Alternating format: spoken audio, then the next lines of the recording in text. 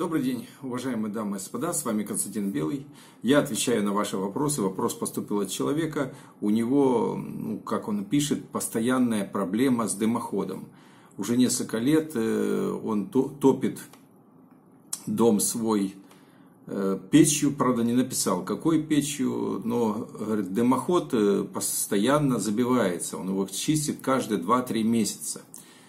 И он сейчас уже думает, что, наверное, ему маленький диаметр, подскажите, на какой поменять. Говорит, у меня э, сейчас, говорит, стоит 115 диаметр. Думаю, что это маленький диаметр.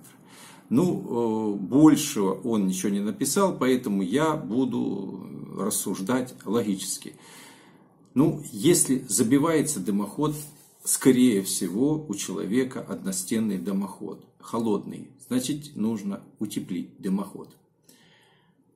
Э, то, что человек хочет увеличить диаметр дымохода, приведет к еще большему его зарастанию, еще большим проблемам, еще большему накоплению сажи, большему э, отложению конденсата. И тогда, возможно, даже такая опасность, как когда загорается сажа, ну, дымоход может и разрушиться, и, соответственно, может быть даже возникнуть пожар. Не надо этого делать, не надо рисковать. Дымоход должен быть оптимального диаметра. Не думайте, что если вы поставите большего диаметра дымоход, он зарастать не будет. Еще быстрее будет зарастать. Поэтому, чтобы вы, чтобы вы это понимали, не надо на это идти.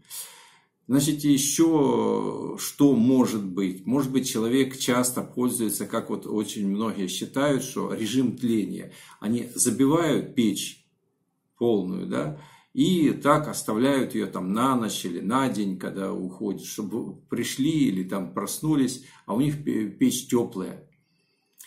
Значит, этим самым вы еще больше забиваете дымоход, потому что идет пиролиз газов, без э, сильного выделения тепла. А значит, дожига нормального нет. И у вас происходит просто-напросто все это выброс дымоход. И там, э, ввиду того, что дымоход не прогревается нормально, значит, поэтому у вас он просто зарастает. Возможно, это у вас и есть. И еще может быть такое, что печь просто у вас, ну, как говорится, прямоточная, в которой вообще дожиг газа невозможен.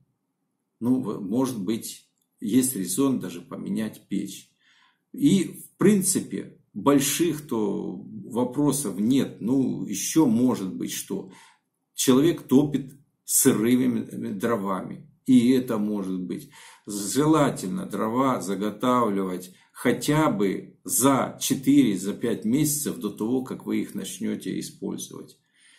И таким способом вы можете вполне, вполне, ну, как говорится, снизить зарастание дымохода.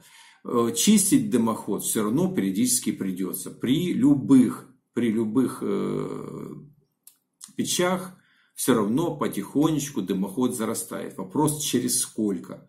Ну, как э, я у себя, ну, допустим, банная печь, так я уже не чистил этот дымоход, я не знаю сколько вообще, уже и забыл, когда последний раз чистил. Потому что у меня, конечно, печи все с дожигом газов. С дожигом хорошим, полноценным. Ну, понятное дело, ну, не у каждого такие печи есть. Значит, соблюдайте то. Теплый дымоход, э оптимальный диаметр, сухое топливо, нормальное горение. И я думаю, что вы с этим делом справитесь, будете как можно реже чистить свой дымоход. Пока все. Всего вам доброго.